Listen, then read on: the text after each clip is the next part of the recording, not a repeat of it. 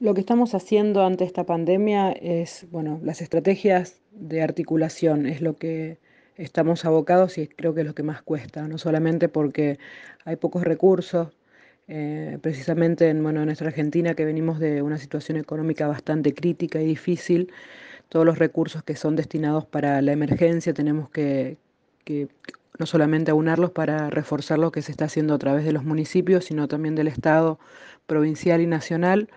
potenciar y reforzar lo que ya está en el territorio. En el caso donde no hay, tratar de nosotros implementarlo. Sabemos que nadie en el mundo estuvo preparado ni está preparado para enfrentar una pandemia de estas características, pero lo que sí tenemos la certeza que solamente mediante la articulación entre, los, eh, entre el Estado, sea municipal, provincial o nacional, es que podemos eh, trabajar efectivamente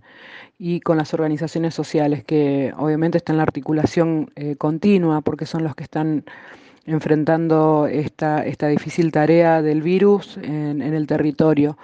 eh, llevando, tratando de garantizar el alimento todas las noches y todos los mediodías en, los distintos comedores y merenderos y es donde llega la primera, la primera noticia donde hay casos posibles. Entonces tenemos que estar indefectiblemente articulados con los gobiernos locales, en los comités de crisis,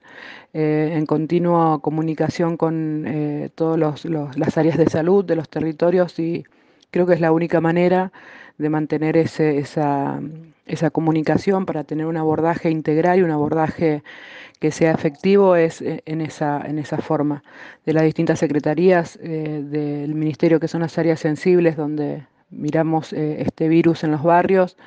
es imposible pensar eh, abordarlo solamente de un lado, sanitario o alimenticio, o el tema de la estructura en cuanto a los servicios básicos, si no podemos mirar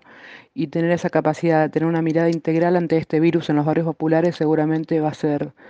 eh, va a ser muy difícil abordar y vamos a ir a un fracaso. Yo confío en que esto se va a poder trabajar en estos meses que, quedan de la pandemia o de la cuarentena en realidad y para que sea en el menor eh, tiempo posible que podamos volver a, caminar tranquilos por, por, nuestra casa, por nuestro barrio, por nuestro, nuestro país.